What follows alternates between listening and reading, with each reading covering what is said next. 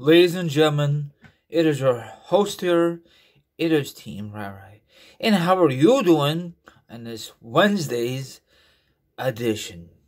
I'm doing very well. Anyway, I do have social media accounts, and I'll discuss that part after this part of the video is over. So please um, sit back, relax, put your feet up, grab some meat, or grab some drink, or maybe you want to check the video and hear my thoughts, my opinions on this subject, and of course, that's all I gotta say. Hopefully, you guys enjoy this video. And once again, like I said earlier in the video, my social media accounts will be down below. Let's hit it. And don't worry, the article down below or the link will be down below. There will be in the article. Okay.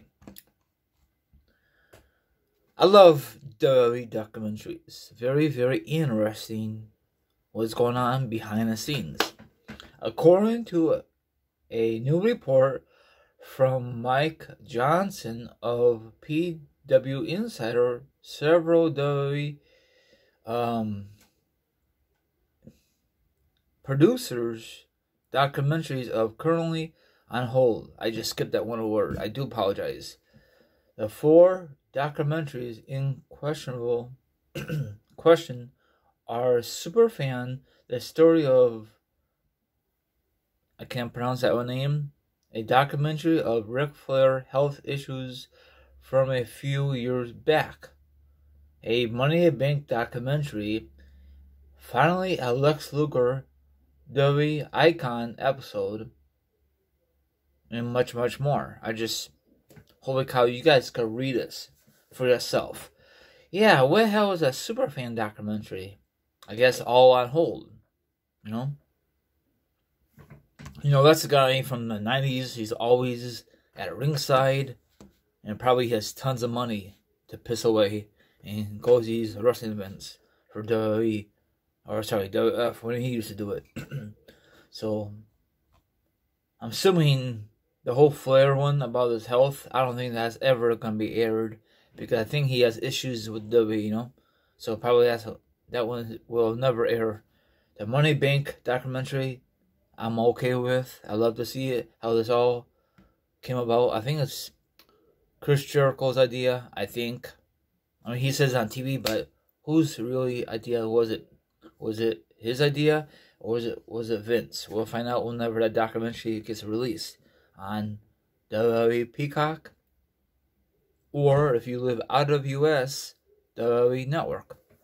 So that's all the information. Okay, I love documentaries from the WWE. What is your favorite one so far? There are so many of them on Peacock that is ridiculous, and they're gonna keep adding more footage. You know, that is awesome.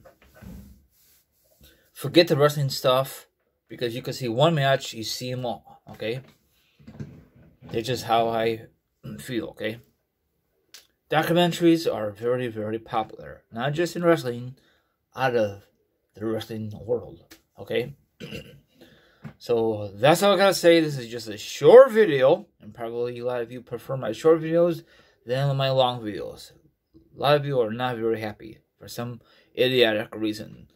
Okay, so um, that's all I gotta say, and um, hopefully they will release these documentaries by the time this year is over. If not, then we gotta wait for 2022. They didn't even promote it or nothing, so it's all on hold at the moment.